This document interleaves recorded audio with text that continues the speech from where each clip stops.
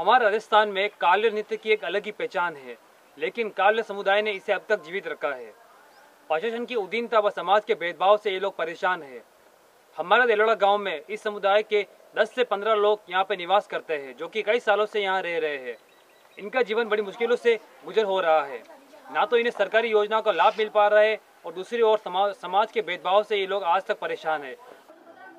आपके समाज में किस तरह से अलग समाज के लोग जातिगत भेदभाव होता है आपके साथ में और किस तरह से होता है? और ब्राह्म तो करते ही हम जाते हैं होटल पर चाय पीनी चाय पीने के लिए पानी पीने के लिए तो चाय हमारे को डिस्प्ले के अंदर देते हैं। और जो पानी होता है जो के तो धोबे में पिलाते के जग अलग रखते हैं वो। इतना भेद ब्राह्म रखते हैं और यही होता है देलवाड़ा गाँव में जहाँ दूसरी जगह जाते हैं वो तो पहचानते ही नहीं तो वहाँ हम कहीं भी पानी पी सकते हैं। स्कूल में तुम्हारे साथ भेदभाव होता है? हाँ। कैसे होता है भेदभाव? हमको पानी साथ में नहीं पिलाते और खाना नहीं खिलाते और भेदभाव करती लड़कियाँ। कौन कौन करती है? हमारी क्लास की लड़कियाँ। तो यहाँ पे क्यों होता है गाँव में तुम्हारे साथ यहाँ पर तो ये स्कूल में जाते हैं हमारी जाति जानते हैं ऐसे हाँ। हमारी जाति में ऐसे बीनने जाते हैं रोटी मांगने जाते हैं तो वो ऐसे समझते हैं कि ये भी जाति होगी। बहुत काफ़ी तरह से भेदभाव है। हम कहीं भी शादी पार्टी में कहीं भी जाते हैं तो भी अलग बिठा कर हमारे को दे देते हैं मगर थाली में पुरुष कर भोजन नहीं खिलाते हमारे को। इस समुदाय के 10 से 15 परिवार यहाँ पे निवास करते हैं जो कि यहाँ पे कई सालों से रह रहे हैं। ये अपना जीवन बड़ी कठिनाइयों से जी रहे हैं।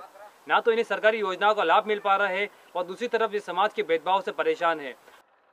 जो गर्भवती महिला होती है उसके लिए क्या आंगनबाड़ी कार्यकर्ता आती है कभी पोषार के लिए टीकाकरण के लिए जाँच करने के लिए? कोई नहीं आते यहाँ तो आंगनवाड़ी के कोई नहीं आते हम खुद ले जाकर टीका दिलवाते हैं खुद आंगनवाड़ी के अंदर जाते हैं। टीका देने के लिए कोई आंगनवाड़ी का हमारा कोई सुविधा नहीं है और आते भी नहीं है। पोषार भी आपको क्या मिलता है या नहीं मिलता है? नहीं मिलता है कभी देखा ही नहीं क्या होता है पूछा तो कितने सालों से नहीं आ रहे वो काफ़ी साल हो गया होगा तीस चालीस साल हो गया होगा। शौचालय है नहीं है और नहीं है तो क्यों नहीं है? शौचालय बनाया पास तो एक हुआ था एक दिन के वो वहाँ टैंक खुदवा दिया और हमारे तो शौचालय काफ़ी जनों के बने ही नहीं और बनवाए ही नहीं। हम जाते जंगल में जाते खेतों में जाते वहाँ। आपकी औरतें कहाँ जाती है शौचालय के लिए? शौचालय के लिए वही मंगरिया में खेतों में चली जाती है और क्या है? हमारे दिलोड़ा गाँव के काले समुदाय जो कि आज उनकी विकास की गति बड़ी धीमी होती जा रही है। मैं अपने पंचायत व विकास अधिकारी महोदय से निवेदन करता हूँ जिनके नंबर ज़ीरो उनतीस तिरपन अट्ठाईस इक्यावन बाईस है।